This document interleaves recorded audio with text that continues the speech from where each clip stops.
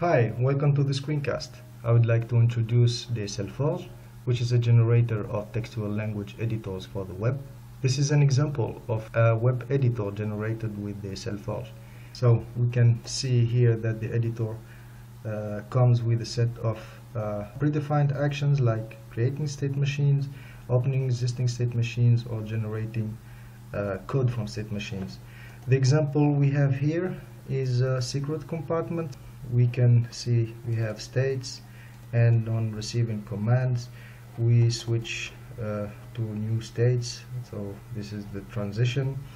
Um, we see from the editor we have syntax highlighting keywords are highlighted. We have also syntax validation. For example we change here.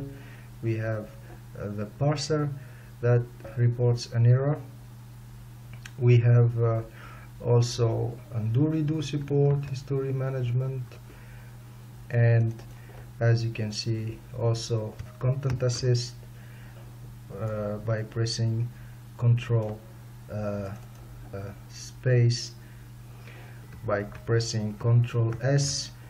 Here we save the resource on the server. Uh, we have tools here we can generate from the menu the Java class from this state machine model. And we have a Java class that has been generated here. We can run it. And we see that we are in the state idle we wait for door closed.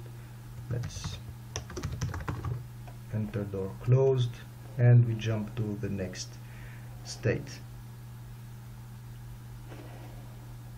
I want to show you now another WebDSL editor uh, which targets the specification of conference website content. This is an example of a conference website specification and we see from the tool menu we can generate the content of the website so let's see how it is rendered currently and let's for the sake of the demo uh, extend the submission date. To do so we switch back to the editor and here we have a section dates and we can use content assist and postpone to Tuesday June 17 for example. Okay let's save. And trigger again code generation.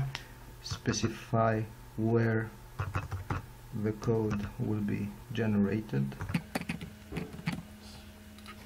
And let's see uh, how the content is refreshed by simply refreshing the browser now let's move to the DSL tooling and see how we can generate a web DSL editor from an already existing grammar. Let's take the state machine example shipped with Xtext.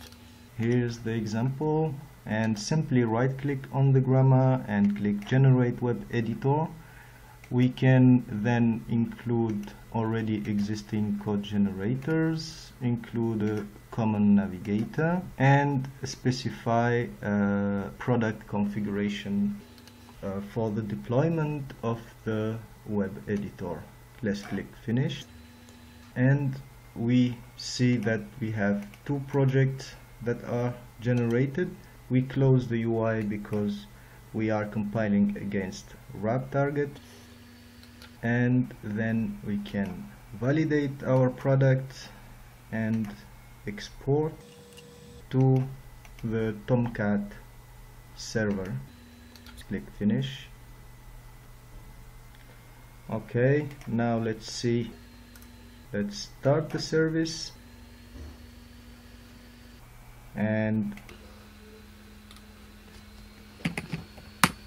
we can access our state machine WebDSL editor.